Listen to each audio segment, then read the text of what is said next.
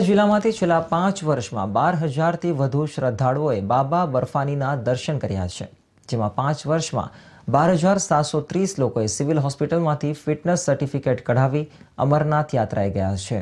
નવી સિવિલ હોસ્પિટલના resident medical officer doctor Ketan નાયકે માહિતી આપતા જણાવ્યું હતું કે છેલ્લા પાંચ વર્ષથી સુરત સિવિલ હોસ્પિટલમાંથી બાર હજાર સાતસો ત્રીસ લોકોએ ફિટનેસ સર્ટિફિકેટ કાઢી અમરનાથ દર્શન કરવા માટે ગયા હતા.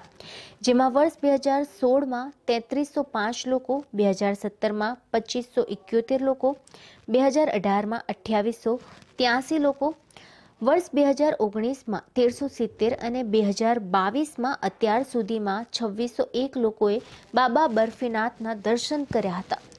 હાલ પણ સિવિલ હોસ્પિટલમાં એક જ છત નીચે તમામ પ્રકારની સુવિધા આપવામાં આવે છે. જેથી ફિટનેસ સર્ટિફિકેટ માટે યાત્રીઓને મુશ્કેલી ન પડે, તેમજ તેઓ સરળતાથી બાબા બર્ફાનીના દર્શન કરી શકે.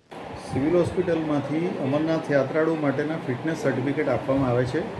એ બે હજાર સોળથી કહીએ તો બે હજાર સોળથી ત્રણ હજાર ત્રણસો પાંચ બે હજાર સત્તરમાં બે હજાર પાંચસો એકોતેર બે હજાર અઢારમાં બે હજાર આઠસો ત્યાંસી બે હજાર ઓગણીસમાં એક હજાર ત્રણસો ને સિત્તેર બે હજાર વીસ અને એકવીસમાં કોવિડને કારણે અમરનાથ યાત્રા બંધ હતી બે હજાર બાવીસમાં અત્યાર સુધી ટીલ ડેટ બે હજાર છસો ને એક સર્ટિફિકેટ આપી, અપાઈ ચૂક્યા છે. આ વખતે ચાલુ કર્યું ત્યારે શરૂઆતમાં બસોથી અઢીસો કેન્ડિડેટ આવતા હતા અને બધાને ફિટનેસ આપવામાં આવતા હતા. ચાલુ વર્ષે અમે કિડની બિલ્ડિંગમાં ગ્રાઉન્ડ ફ્લોર પર એક જ જગ્યાએ ફિઝિશિયન અને તમામ સુવિધાઓ બ્લડ ટેસ્ટથી માંડીને ઇસીજીથી માંડીને તમામ સુવિધાઓ એક જ જગ્યા થાય એ રીતની વ્યવસ્થા કરેલી હતી. જ્યાં સુધી યાત્રા ચાલુ થાય ત્યાં સુધી જ્યાં સુધી યાત્રાળુ આવશે ત્યાં સુધી ચાલુ રાખવામાં આવશે.